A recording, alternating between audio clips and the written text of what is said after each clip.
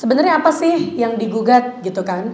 Yang menjadi objek gugatan dari gugatan PJ Kepala Daerah ini ada dua teman-teman. Ini masuk ke dalam skema Peraturan Mahkamah Agung Nomor 2 Tahun 2019 tentang OOD atau tindakan pemerintah um, atau tindakan penguasa gitu yang melawan hukum. Nah, objek gugatannya dua. Yang pertama itu tindakan pemerintah uh, berupa tidak bertindak atau omission dengan tidak menerbitkan aturan pelaksana sebagaimana dimandatkan oleh Undang-Undang 10 2016 dan juga putusan MK.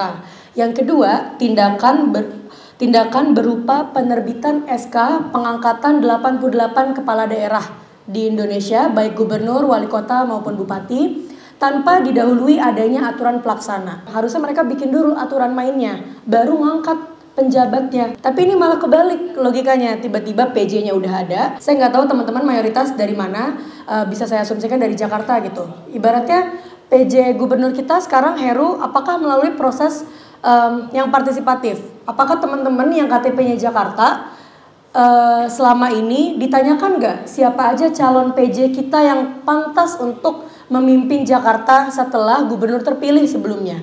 Bernegara itu tidak boleh ugal-ugalan Kenapa saya bilangnya ugal-ugalan? Karena betul-betul semau-maunya uh, pemerintah gitu. Pokoknya asal beres secara prosedural, maka dianggap kita harus menerima. Nah, barangkali teman-teman penggugat maupun para kuasa hukumnya bisa dikatakan ini bawel banget sih gitu.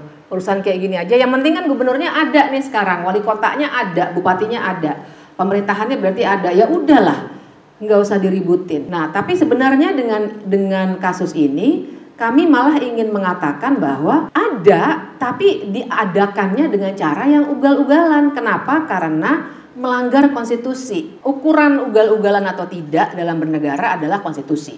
Itu dulu yang harus dipegang. Nah, konstitusi itu jelas mengatur, men menegaskan betul dan ingat konstitusi itu adalah salah satu buah dari 25 tahun yang lalu kita melakukan yang namanya gerakan reformasi. Nah, 98 dulu ya.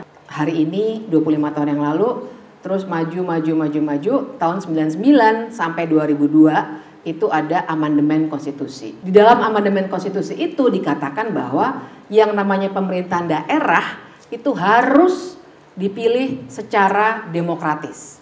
Itu pegangan kita. Juga konstitusi hasil reformasi juga yang bilang bahwa masyarakat itu berhak berpartisipasi dalam menjalankan pemerintahan.